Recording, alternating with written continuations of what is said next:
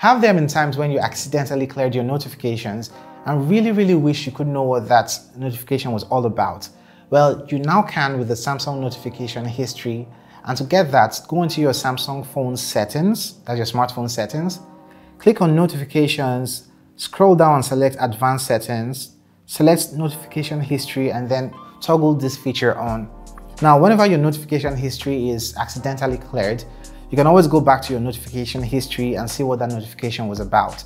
Okay, here's a scenario. Let's say you want to run two applications on the same screen, say YouTube and a note-taking app. That's quite simple using the split screen feature. Now launch the first application you wish to show on the split screen. After that, go into your recent apps, as shown here, and then from there tap on the applications icon and click on the open in split screen view. Now a small edge panel appears to help you select um, the second application you wish to launch alongside this other application. Click on it and have both apps or the app, the second application you wish to launch alongside open up in the same screen. That means two applications opening on the same screen. You can easily resize the windows to what feels more comfortable for you. Let's say this is something you would often use and want to save this combination of apps. You can easily save that by tapping on the three dots here and then tap on the plus save icon as shown and that saves the shortcut to your Edge panel. So whenever you wish to launch both applications, swipe out the Edge panel from your smartphone and then click on the icon that has both applications and it will open them in your split screen. Now speaking of the Edge panels, they give you shortcuts to the frequently used applications on your Galaxy A52. To add more apps here, simply swipe out the Edge panel from the side of your screen here.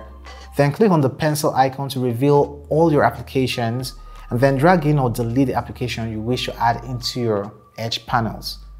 By default, the Edge panel feature is turned on on the Samsung Galaxy A52. If you do not like them and wish to turn this feature off, go into your smartphone settings, then click on display Scroll down to the edge panels here and toggle that off or on. Now let me throw in a simple one here. As an Android user, you know how to take screenshots by pressing and holding the volume down and power button. But it's easier on the Samsung Galaxy A52 by swiping across the screen as seen here. To record your screen on the Samsung Galaxy A52, simply swipe down the notification pane as shown here, then click on the screen recorder icon, this one here, Follow the prompts as shown to record your screen. Now you can select the source of audio here and you can do things like hiding the pen or making a scribble or doodles on your screen while recording. You might have noticed how easy enabling toggles is on smartphones like this, but there are more toggles which are not shown in your notification panel. And to add them here, all you got to do is swipe down your notification pane, click on the options menu at the top right corner of the screen, then select edit options and now you can drag to add or remove any of the toggles from the screen. A single swipe down the notification pane, of course, does not show you the brightness bar on your Samsung devices. Now, to get the brightness bar show, you have to swipe down twice or do the double finger swipe down to reveal the brightness bar. But there is a cute little way to show the brightness bar in a single swipe. Now, to do this, go to your navigation panel once more, click on its menu as shown here, select the quick panel layout and from within here you can enable the show brightness panel above the um, yeah click on show brightness panel above the notification and anytime you do a single swipe down that brightness bar gets revealed. So if you are liking this video so far clicking on that subscribe button will be massively appreciated. Now this is a large device obviously and doing notification swipe down from the top corner of the screen sometimes can be out of reach did you know you can easily swipe down the notification pane by swiping down in your home screen to get that pane revealed? Now to turn this feature on, simply tap and hold anywhere on your home screen, then click on settings, then enable swipe down for notification panel. While still talking about large devices, there's a one-handed feature to enable better reach and user experience for the smartphone.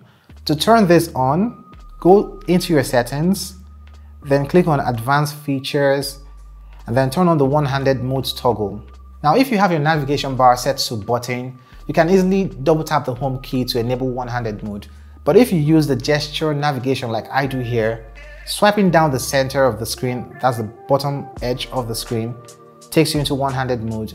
and you can tap anywhere outside this window to take you out of this mode.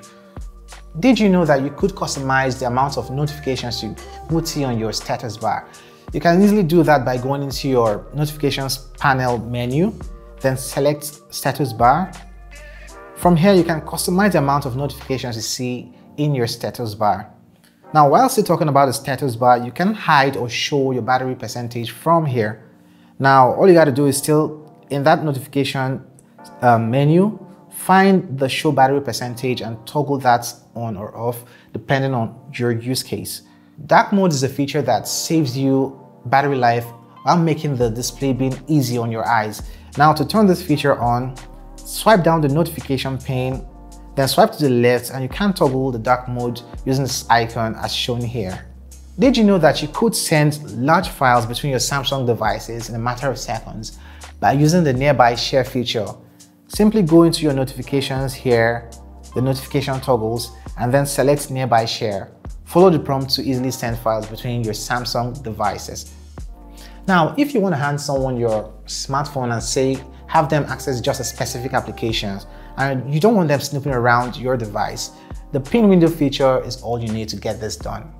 Now, simply go into your settings, scroll down till you see the biometrics and security, scroll down to other security settings also, and then once more scroll down to pin window and enable this feature. Now, when you launch the application you wish to give this person access to, go into your recent apps and tap on the apps icon and click on pin this app. The user won't be able to go off this application to access other sections of this phone. And to do that, like access other sections while using the gesture navigation like I do here, they would have to swipe down and hold the center of the screen and they will be required to unlock the smartphone for access to other sections. Now to get more icons in the home screen page and less pages, to make things a little bit organized on your smartphone. You can press and hold anywhere on the home screen for some seconds. Then click on settings, select the home screen layout and from here you can select the layout that matches your style and customize the number of icons you want to see like in that grid to your taste actually. Some people are not quite used to swiping up to reveal that app drawer and would rather have a button to launch the app drawer for them. So to enable this, that's the button to launch the app drawer. While in your home screen settings, click on show app screen button on home screen and you have it enabled. If you are someone who loves customizing their home screen and wouldn't want those accidental rearrangements of the home screen icons, simply enable the lock screen layout from your home screen settings page here. If you also want to hide your application from your app drawer, while in your home screen um, settings, click on Hide Apps menu and from here you can select the app you wish to hide from your device's app drawer. You can reverse this process by undoing what you have done so far. So let's talk about the phone dialer application. Now when you launch this app, it gets you into the recent call logs. But if you're like me and want to have the dialer shown instead, simply go to the menu here, that's the three dots at the top right corner of the screen, and then select open to keypad, and that's it. Another quick one here would be to sort your app drawer in an alphabetical order. Click on the three dot icons while in the app drawer, select sort and choose alphabetical order. As has been the custom for me, I'm all about the gesture-based navigation on Android smartphones and not the traditional button Samsung defaults to when you use your smartphones. Now to set the Samsung Galaxy A52 to gesture-based navigation, while in your phone settings, click on Display, scroll down and click on the navigation bar then select your swipe gestures from here. You can as well stick to the button navigation if that's your thing and rearrange the button order to what feels more comfortable for you. Now here are some camera tips for you guys. Do you want to take 64 megapixel photos on the A52? You can enable this by selecting the option as shown here on your screen. Usually the camera app defaults to 60 megapixel but this turns on the 64 megapixel feature and this would usually result in larger image files. Now, if you want to take burst shot images on your smartphone, while in the camera app, simply swipe down on the shutter icon and you should see the image burst go off. It's that simple. Speaking of camera modes, there is a fun mode in the camera app which is a collaboration between Samsung and Snapchat to bring you filters and effects on the smartphone. It's actually a fun one. Portrait mode gives you that blur in the background to indicate professional photography. Now to increase the background blur in your photos, go into your portrait mode in the camera app here, and then use the blur slider as you can see here to increase or reduce the depth of field in your photo. As someone who uses um, professional cameras, I love myself some manual controls. So if you are like me, the Pro mode on the Samsung Galaxy's camera app should be something you should take a look at. You have controls such as the ISO, shutter angle, white balance, and a whole lot more. Also, if you take photos using the ultra-wide lens of the A52, you might notice the fisheye effect sometimes. Now to balance for that or correct this um, fisheye effect, while in the camera app, go into your camera settings and click on the format and advanced options from here. You can enable the ultra wide shape correction from the settings. So let's check out the video mode on the camera app. To enable stabilized video footage on this camera, that means you don't want to have those shaky video footage, you have to turn on the super steady mode. To get that on, click on the hand icon at the top of the screen to have stabilization for video turned on. You could also add more camera options to the bottom of the camera app screen by clicking on the more options here, then click and drag which you want to add to the bottom of the camera app screen. So here are some display tips I would want to share with you guys. If the 90Hz refresh rate doesn't really make that much difference for you and you wish to save more battery life, you could change your refresh rate from 90 to 60 Hz. And this can be done by going into your phone settings, select display, then click on motion smoothness from here and then select high for 90 Hz or standard for 60 Hz. If you love to customize your display panel's color or look profile, while still in your display settings, click on the screen mode option. You can select natural for that warm default look or vivid for a colder look and with options of white balance from within this place. Let's move over to lock screen tips. Now, I don't pray you lose your smartphone, but in case that eventually happens, you need to put up your contact information on your lock screen. And to do that, go into your phone settings, click on lock screen, and then scroll down and tap on your contact information. From within here, you can enter your email address or maybe a secondary phone number that you can be reached by. While still in your lock screen settings, you can show your notification icons or have them turned off from the lock screen by toggling off the notification option from here. You can also have the details of the notification shown, that's in your lock screen by tapping on the menu and selecting details. Always on feature is one thing I really love about AMOLED panels, but out the box it stays just for 10 seconds on the A52.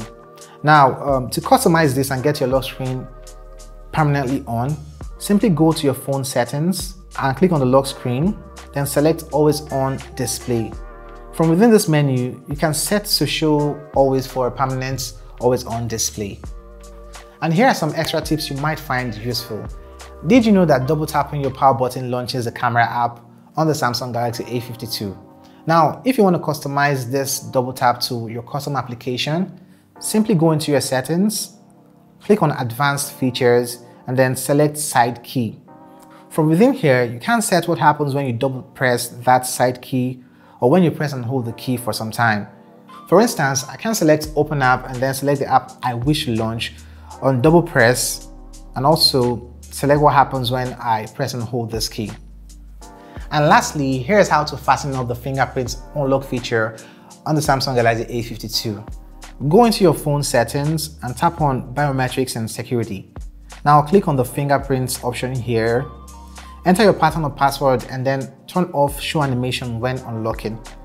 Go back to the biometric settings and then enter the more biometric settings and also turn off show unlock effect feature. Now once more, go into your app settings, that's go to your settings and click on apps. Click on the menu icon at the top right corner of the screen. Select special access and then click on the optimize battery usage. Tap here and select all. Then from the search box, you can type in biometrics and disable that too. That actually makes a whole difference. And there you have it, my top 40 tips and tricks for your Samsung Galaxy A52. Are there some tips you might want to share with us? Let me know in the comment section below. Do you like this video? Then actually hit that like button. Do not forget to share and subscribe to this channel if you haven't done those already. Thanks for watching and I'm gonna catch you guys in the next one. Kawidati.